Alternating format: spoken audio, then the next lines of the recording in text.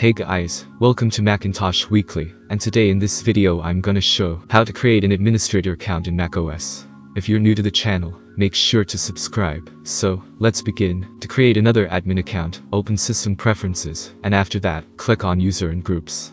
And now, unlock User and Groups Preferences.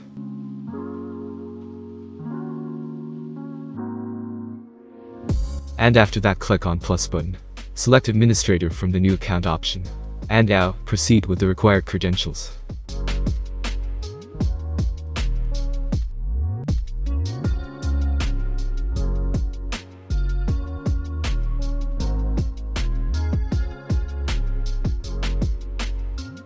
After filling required credentials, click on Create User. And after the account is created, you can edit the login logo.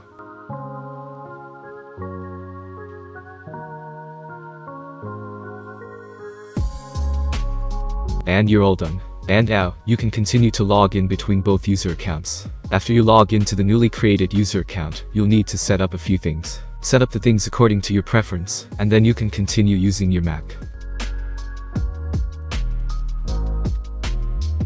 So, that was it, hope it was useful, consider like for the video, subscribe to the channel, and if you have any question, just comment down below, thanks for watching, and have a great day ahead.